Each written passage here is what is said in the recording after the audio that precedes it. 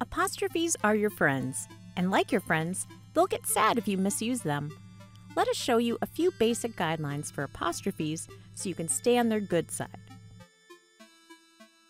Possessive. This means belonging or ownership. An apostrophe shows that something is being possessed. Not in an evil way.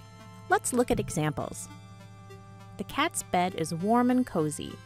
The apostrophe shows that the cat bed belongs to the cat. Have you seen the restaurant's menu? Again, the menu belongs to the restaurant. Next rule possessive, but more than one owner. What happens when there's more than one owner? You generally put the apostrophe on the outside of the word instead. I found the dog's toy. I found the dog's toy. If there's more than one dog, the apostrophe goes on the outside. The student's books are on the table. The student's books are on the table. The apostrophe on the outside lets us know if there's more than one owner.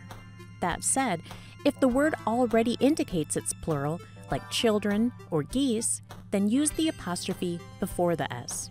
The geese's pond froze over early. Next, plural.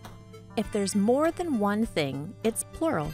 Apostrophes don't really have anything to do with plurals, except for rare occasions. Let's look at normal instances. There are three pairs on the counter. Look at all those chickens. See how there's no apostrophe? A couple of the rare occasions you might encounter are How many A's did you get on your report card? Here's some do's and don'ts. It's versus its. This is the one that really trips people up.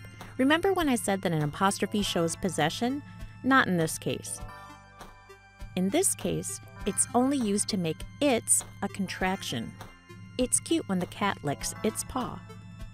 There really isn't a great way to remember this except when you're reading over your writing to check to see if you've got the right its, replace it with it is, and see if it makes sense. It is cute when the cat licks it is paw. Nope, no apostrophe on that second one. Finally, the contractions rule. Apostrophes can take the place of letters in words. Take a look. Don't, I've, you'll, twas, they're, who's. So if you need to take a letter out of a word, you might want to put an apostrophe there to replace it. There are a few more picky rules, but these are the basics.